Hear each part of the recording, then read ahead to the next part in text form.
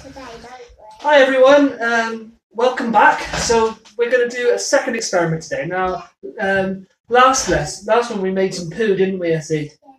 But this time we're going to do the, kind of the opposite. We're going to try and think about how why it's so important to wash our hands, especially with all these nasty bugs going around and germs.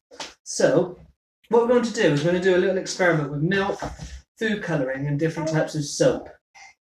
So we always have to wash our hands with soap, don't we, Essie?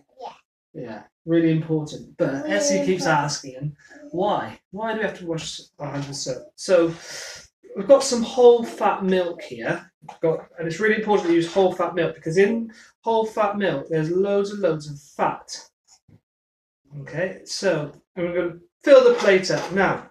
The reason that's so important is because all the germs and all the viruses and things like that are covered in a layer of fat, so fatty molecules. And then we, we're going to put in some food colouring as well. So a few tiny little drops. Oh, and then they, they might spread out a little bit because the table's a bit wobbly. Okay, we're going to put some tiny bit of black in. I'm going to do it just because if we put too much in, it won't work. Okay. I'm going to bring the camera over in a minute. Now Essie's going to put some soap on her finger. Just put those lids on. Now you can watch. The soap should react with the milk, and you'll see that the milk dis- moves away from her finger straight away. Try and do this black bit here. Show the black bit. Okay.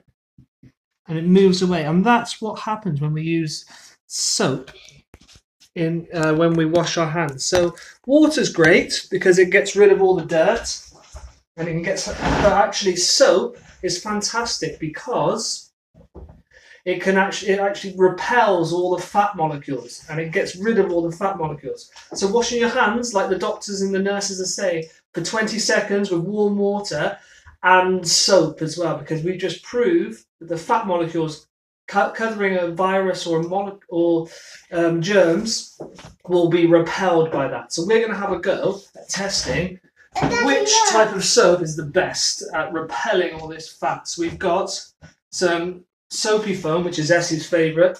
You want to show them the soapy foam? And you show them that it can bounce and things on the table. Okay, so what we're going to do now is we're going to have a go at doing some different ones, and you can have a go. My challenge- There.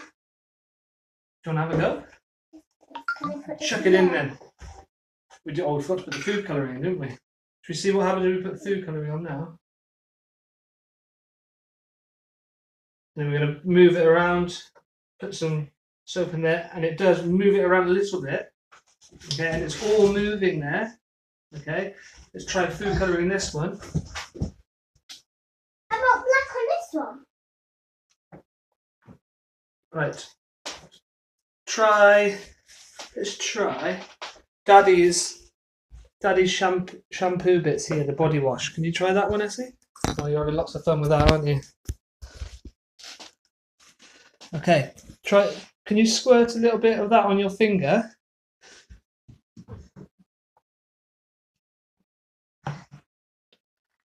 And look, it moves it away straight away. Okay.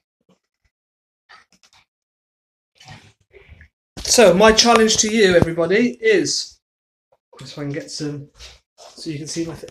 My challenge is: Can you help the NHS, help the government to prove? My hands. Oh my gosh! Look at your hands.